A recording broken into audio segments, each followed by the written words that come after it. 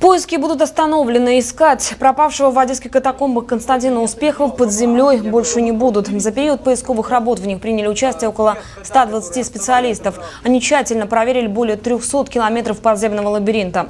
К сожалению, потерявшегося молодого человека так и не нашли.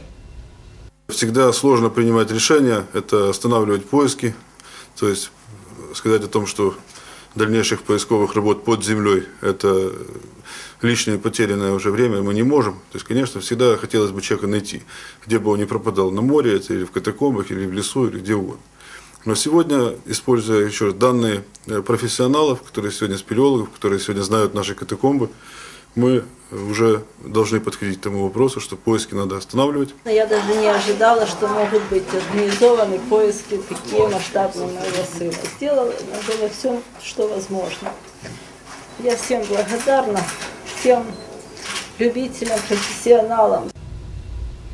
Пока что МЧС и правоохранители разрабатывают другие версии исчезновения 21-летнего Константина Успехова, который 7 января ушел самостоятельно в катакомбы и до сих пор не вернулся.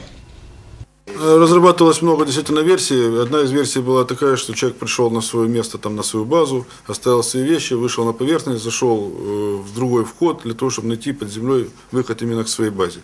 Вторая версия, насколько мне известно, э, он любил заниматься там э, плаванием в холодной воде, да, то есть разжевать, как у нас любят говорить, мог выйти оттуда к морю непосредственно, пойти покупаться, потом как бы вернуться назад, мог утонуть.